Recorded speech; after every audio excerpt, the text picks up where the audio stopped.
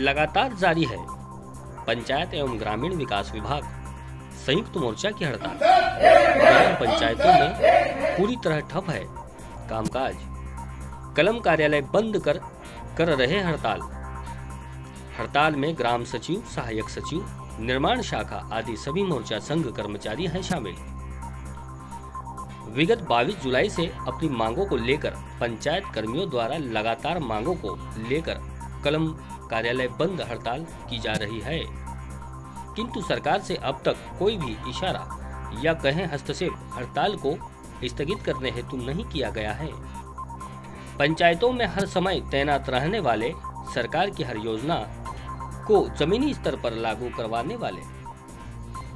प्रदेश भर में पंचायत स्तर पर योजनाओं को आम जनता को सीधा लाभ पहुंचाकर सरकार की वाहवाही करवाने वाले कर्मियों के लिए सरकार को नरम रुख अपनाना चाहिए और संयुक्त मोर्चा संघ की आवश्यक मांगों को स्वीकार कर हड़ताल खत्म करवाना चाहिए, ताकि ग्राम पंचायतों में निर्माण कार्य, पीएम आवास की किस्तें नल जल योजना ग्रामीण आम जनता के आवागमन के स्त्रोत्र आदि के मैपिंग कार्य योजनाएँ निर्बाध चलती रहे।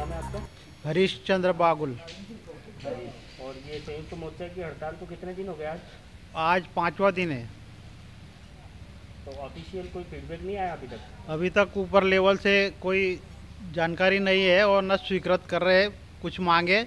और जब तक ये मांगे स्वीकृत नहीं होगी तब तक हड़ताल सभी दूर प्रदेश में जारी है और यहाँ भी भी जारी रहेगी। ठीक है तो आप पूरी तरह से बंद पंचायत पूरी तरह से पूरी उनचालीस पंचायतों में पूरा ठप है कार्यक्रम।